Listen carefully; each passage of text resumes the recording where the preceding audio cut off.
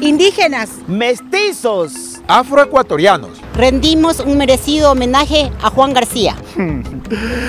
El historiador más importante de la cultura afroecuatoriana. Sí, señor.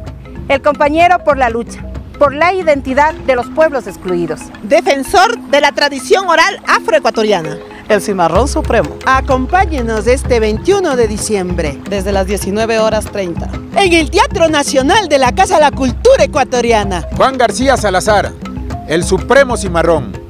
Toditos arracimados, pal mayor de los hermanos. El Cimarrón Supremo. Sé parte de nuestra historia.